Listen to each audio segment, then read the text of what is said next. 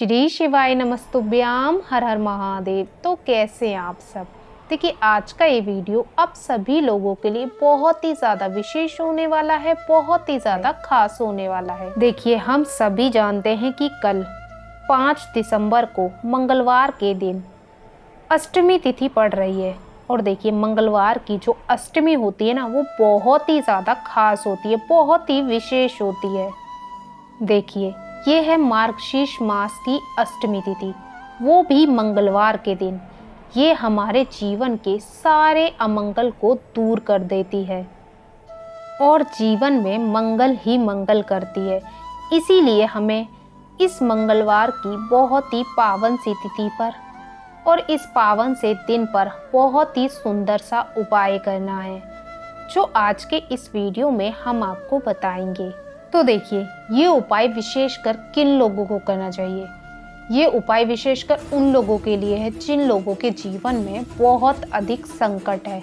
यानी कि उनको चारों तरफ़ से विपदाओं ने घेरा हुआ है। उनके जीवन में कोई ना कोई परेशानी हमेशा लगी रहती है। चाहे वो धन से जुड़ी हुई हो, चाहे वो संतान से जुड़ी हुई हो, चाहे वो विवाह से जुड़ी हुई हो, या चाहे वो व्यापार से जुड़ी हो यानी किसी भी प्रकार की आपके जीवन में परेशानियाँ हैं और आप चाहते हैं कि वो आपके जीवन से दूर हो जाएँ, यानी कि आपका व्यापार अच्छा नहीं चल रहा और आप चाहते हैं कि आपका व्यापार ठीक चलने लग जाए या फिर आपके बच्चों की शादी में अड़चने उत्पन्न हो रही हैं, उनका विवाह नहीं हो पा रहा है तो आपको ये उपाय करना चाहिए। या फिर आपके जीवन में धन का अभाव है। माता लक्ष्मी जी की आपके जीवन में कृपा नहीं है तो माता लक्ष्मी जी की कृपा को प्राप्त करने के लिए भी आपको ये उपाय करना चाहिए। बहुत ही विशेष और बहुत ही खास उपाय है, जो कि आपको मंगलवार की अष्टमी तिथि पर करना है। मार्गशीर्ष मास की अष्टमी तिथि, जो कि बहुत ही ज़्यादा खास होती है। और देखिए, इसी मार्गशीर्ष मास की अष्टमी तिथि पर आपको करना है ये सुंदर सा उपाय। ये उपाय हमने पूज्य गुरुदेव की ही कथाओं को सुन करके समझ करके आप सभी को भी मैं समझाने का पूरा प्रयास करूँगी। लेकिन उससे पहले इस वीडियो को आप सब ज़रूर लाइक कीजिएगा और यदि भगवान शिव के सच्चे भक्त हैं तो चैनल को ज़रूर सब्सक्राइब करें।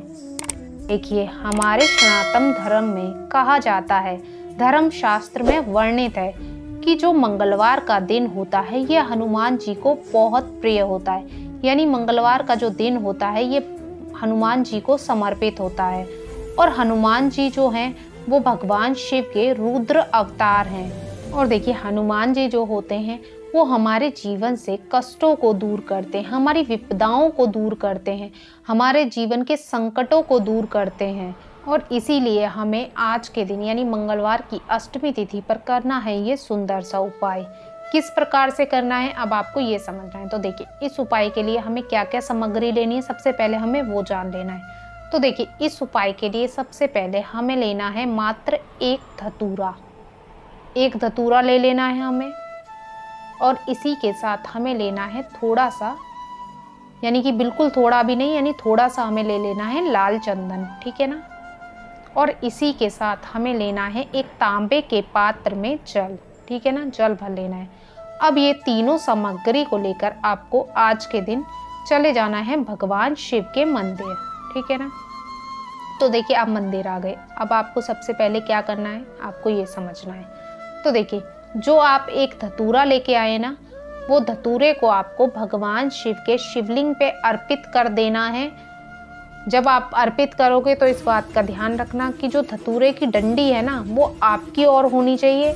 जिस जिस तरफ़ से भी यानी आप धतूरे को अर्पित कर रहे हैं ना, शिवलिंग पे तो जो डंडी का हिस्सा है वो आपकी ओर होना चाहिए। इस प्रकार से आपको ये धतूरा भगवान शिव के शिवलिंग पे अर्पित कर देना है, ठीक है ना? अपनी मनोकामना को बोल करके, यानी कि आप ये उपाय जिस भी मनोकामना के लिए कर रहे हैं, चाहे वो आपकी धन से जुड़ी हुई हो, चाहे वो आप व्यापार से जुड़ी हुई हो या विवाह से जुड़ी हुई है, यानी कोई भी मनोकामना के नियमित आपने ये उपाय किया, उस मनोकामना को आपको बोलना है और आपको ये एक कतूरा भगवान शिव के शिवलिंग पे अर्पित कर देना है, ठीक है ना?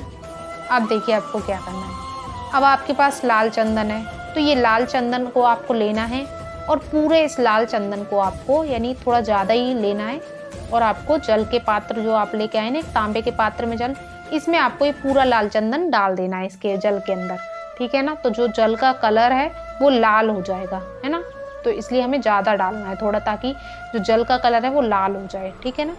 अब आपको क्या करना है? अब आपको ये अपने हाथ में रखना है पात्र, और ये आपको बिल्कुल पतली धारा के साथ, जो धतूरा आपने अर्पित किया ना, उसके ऊपर ही आपको इस जल को भगवान शिव के शिवलिंग पर समर्पित करना है। लेकिन डायरेक्ट आपको शिवलिंग पे समर्पित नहीं करना, आपको पहले धतूरे पे करना है, और देखिए धतूरे से होकर के ये जल शिवलिंग पे होकर के जलाधारी पे जाएगा। तो आपको इस प्रकार से बिल्कुल पतली धारा के साथ ये पूरा एक लोटा जल आपको भगवान शिव के शिवलिंग पे समर्पित करना है।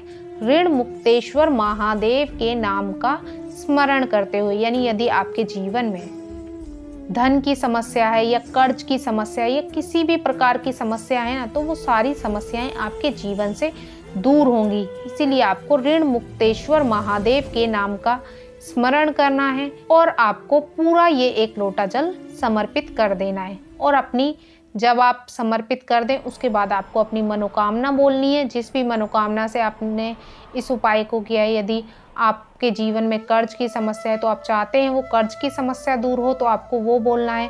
यदि धन की आप कामना करते हैं तो आपको वो बोलना है। विवाह की कोई परेशानी है तो विवाह से संबंधित आपको अपनी परेशानी बोली यानी जिस भी मनोकामना से आपने इस उपाय को किया है, उसको आपको महादेव जी को बोलना है और इस प्रकार से आपको आज के दिन, यानी मंगलवार की अष्टमी तिथि पर ये सुंदर सा उपाय करना है।